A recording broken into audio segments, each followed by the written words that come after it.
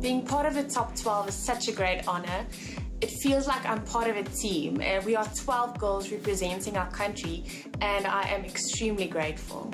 As soon as we started rehearsals and we listened to the music that we were going to be performing to, it just hit me that, wow, this is really happening and I am a top 12 finalist.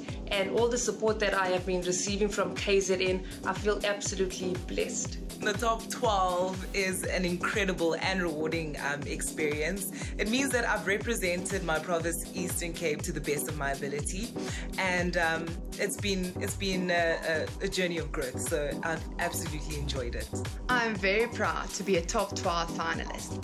This has been an absolute life changing journey for me, where I've learned so much about myself. All I can say is wow, I am part of the top 12.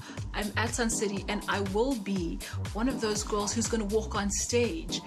Those girls that I've always dreamed of. That that is going to be me. I am so excited. Who would have thought that I'd be representing my own hometown Soweto and my community Roodepoort? It has been a lot of work, discipline and great dedication and I'm absolutely blessed. I'm honored. Thank you.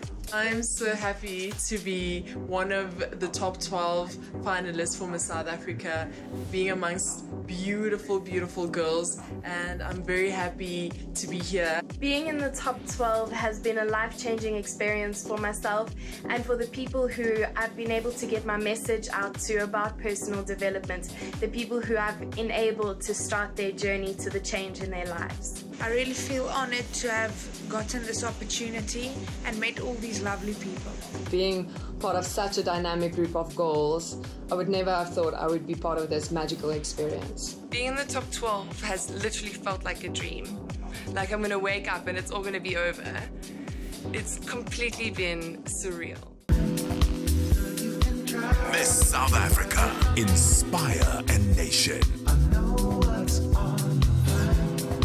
Miss South Africa 2014, proudly sponsored by Cell C.